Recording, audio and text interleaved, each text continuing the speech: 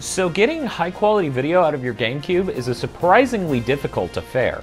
Um, whereas other platforms like the Xbox and PS2 had uh, both first party and third party component cables back in the day that were relatively cheap and pretty common, the GameCube didn't. The GameCube only had one component cable, and that's the Nintendo official manufactured one.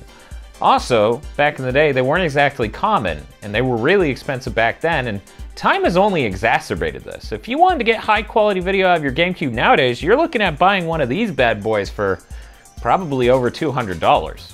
Back around 2015, an alternative arose thanks to the open source project GC Video. Because of GC Video, GameCube HDMI mods became possible and offered a pretty good alternative to getting component cables.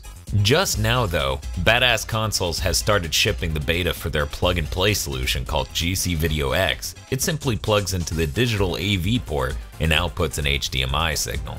But how much better does the GC Video X look than these component cables, or the Wii for that matter? That's exactly what I'm going to show you.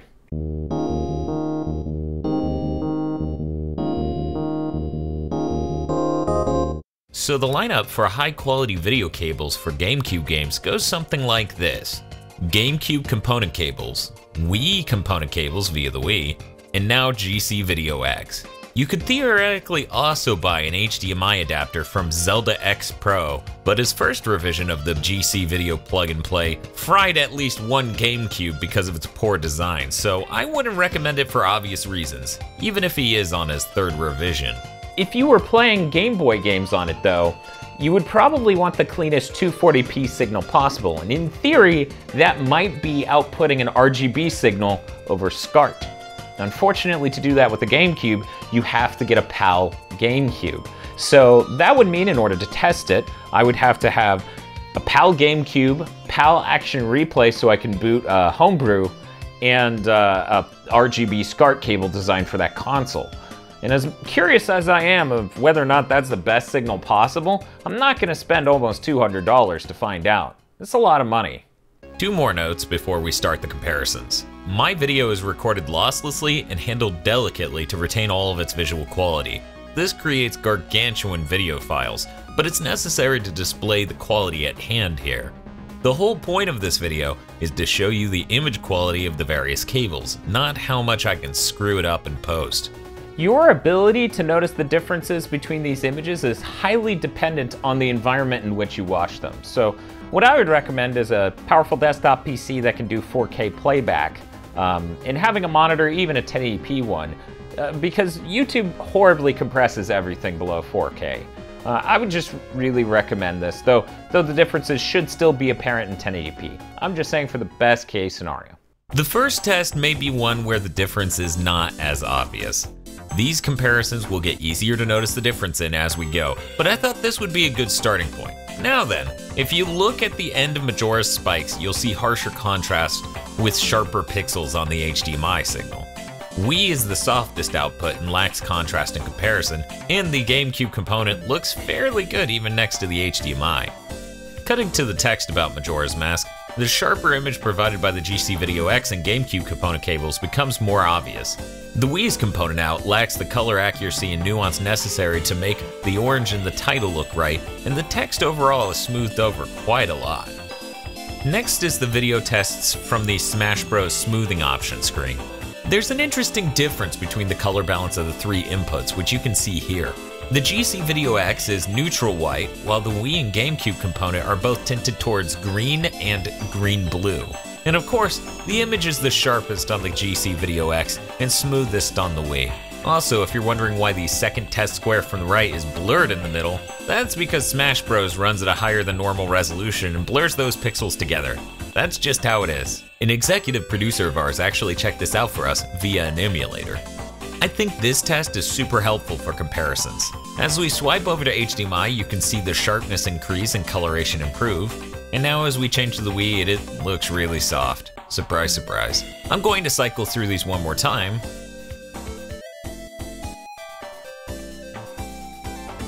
And now split the image. On the right is the GC Video X, and on the left is the GameCube component. And now the Wii. Here's the Zelda 2 level in Smash Bros. Since it's such a large level, it helps show the differences in visual quality between the three of these cables.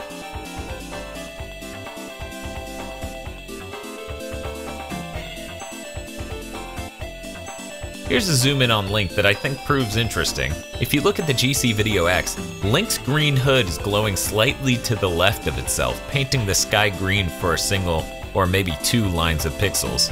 His gloves do the same, painting objects 1 to 2 pixels to the left of it, slightly brown. I examined a still frame capture of this shot in Photoshop after finding this oddity, and confirmed that it wasn't my video editor introducing the error. The thing is that the GameCube's internal digital video signal is not a full 444 resolution image and is 422, which means that the color resolution is half the resolution of the image. What is happening is the GC Video X's method of sampling this 422 resolution source video and converting it into a 444 signal is different from how the GameCube's component cable is being converted either via the processor on the cable or my capture card. In fact, if you look close, you can see similar artifacts on the GameCube component video, but they mostly go to the right of Link instead of the left. They also aren't as pronounced as the GC Video X's due to the relative softness of the component output. It's possible that a different sampling method could be used and would look different. Also, you might notice the Wii is still over there looking like crap. Switching over to some Game Boy stuff, this is Castlevania Aria of Sorrow running on the Game Boy interface software.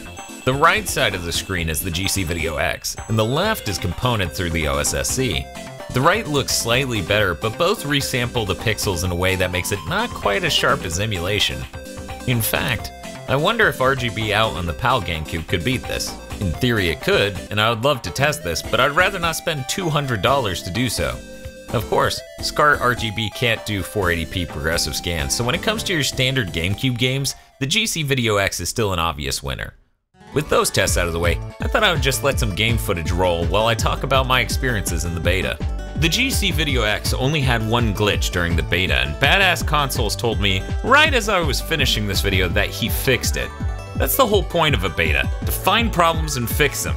Even still, I thought I'd share what happened just because I thought it was very interesting.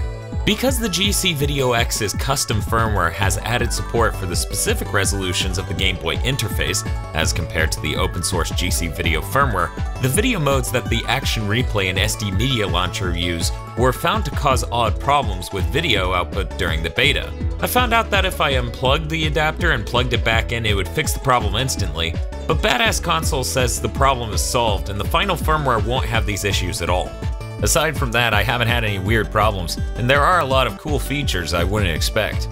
For example, in 240p resolution mode, there's a line doubler that's sort of like the OSSC, and the 480i mode has a line doubler as well, which I presume works about the same as the Bob deinterlace mode on the OSSC.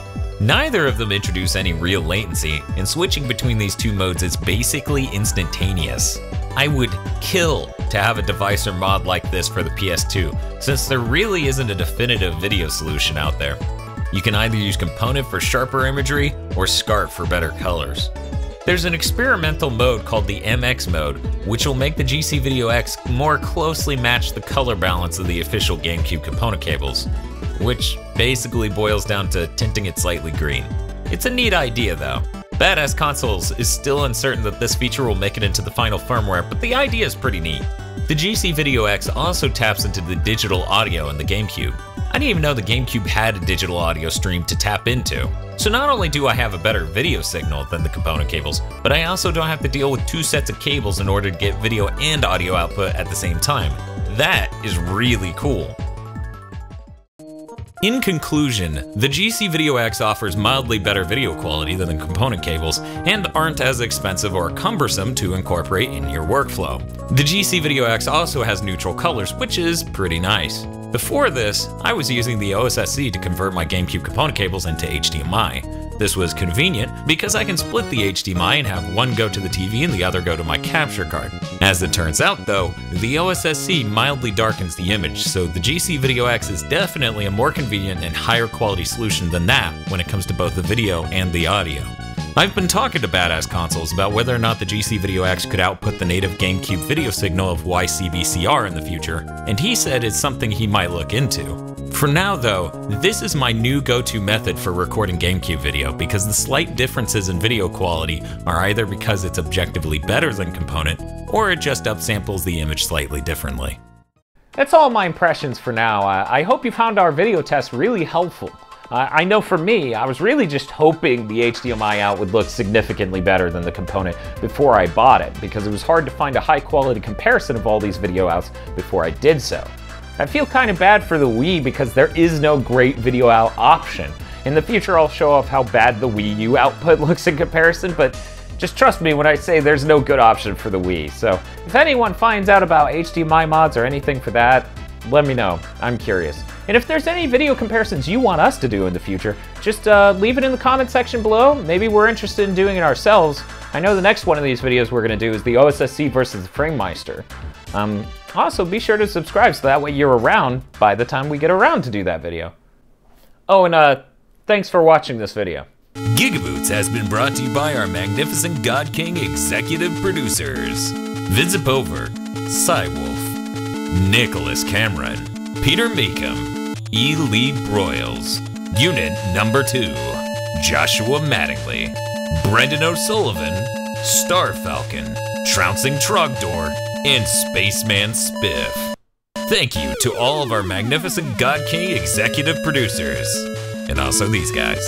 Head on over to patreon.com slash gigaboots today and become one of these names.